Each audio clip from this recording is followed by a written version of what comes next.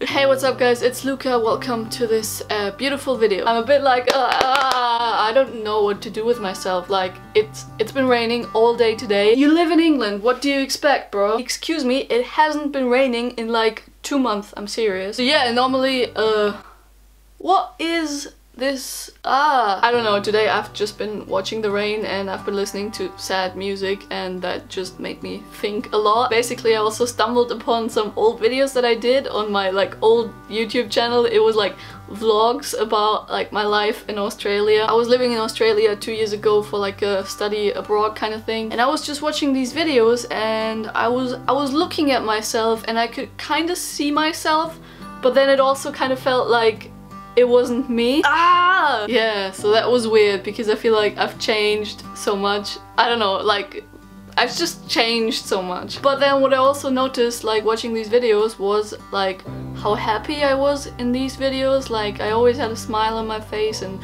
I don't know, I seemed like I had no, literally no worries in the world. I was just, you know, traveling around, doing my thing, enjoying my life with my friends. First of all, that made me like super nostalgic because Australia was just, I don't know, fantastic, mind-blowing. It feels like in my memory like a year of fun and travel and uh, lots of drinking and parties. I know that it wasn't all rainbows and unicorns, like if I think more about it, there were some like shittier times as well and there was some stress, there were some issues. Of course, I missed my friends and family at home sometimes and yeah, it was just normal life in the end, but sometimes I like romanticize these memories a lot. However, I also feel like that this year, this like one year I spent in Australia was like one of the happiest years in my life, if not the happiest year. I guess when I went there I was at a point in my life where I finally felt comfortable enough with myself. I was so excited, I constantly like pushed myself to go out of my comfort zone to like, you know, experience um, everything and have like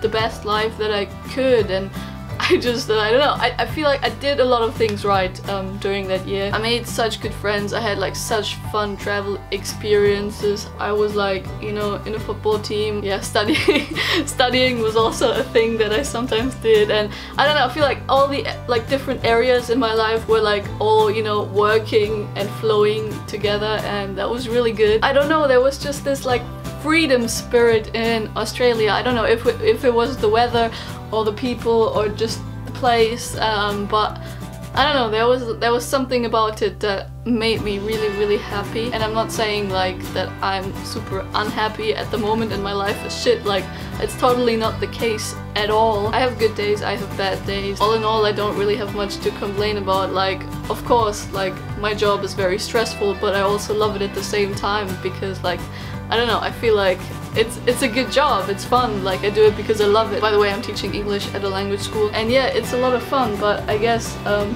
if you work this kind of job then you don't really have any any freedom. A job comes with lots of responsibilities and restricted freedom and yeah, I guess I really miss this the freedom, the freedom of um, traveling and the freedom of waking up in the morning and just going with the flow and deciding what to do. Yeah, I don't I don't really know why I made this video in the end, but like I guess I just had so many thoughts going on in my head. I thought that if I like said it out loud it would make somehow more sense, but I guess it doesn't. Or maybe it does, I don't know, you tell me. I guess the message is just like pretty cheesy. Do what makes you happy, that's that's it like nothing else matters. And that's something we all know I'm, I'm sure about that. But still it's something that we often for, forget or I don't know not take seriously or kind of like push away. Ah I don't know. I feel like I've achieved a lot of things like both in my professional and in my private life like ever since coming back from Australia. But at the same time I feel like all these achievements don't really mean anything if